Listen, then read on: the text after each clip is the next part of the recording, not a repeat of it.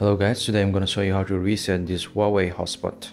So this method will be applicable to most of the Huawei branded devices. This method will erase everything including the administrator password, Wi-Fi password, Wi-Fi name and all the settings. And it will be reverted to the original settings or the factory settings.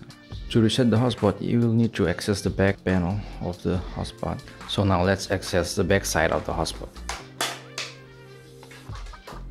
As you can see, this is the open view of the hotspot and this is the default Wi-Fi name and Wi-Fi key. This is very important.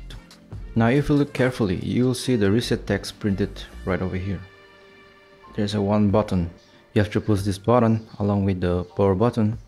Wait a few seconds and you're done. So let's get started. I'll do this with a pen. After pushing the button, you will hear a click. Now press the power button. You will see the indicators lights up. Keep on pressing it till the light starts blinking.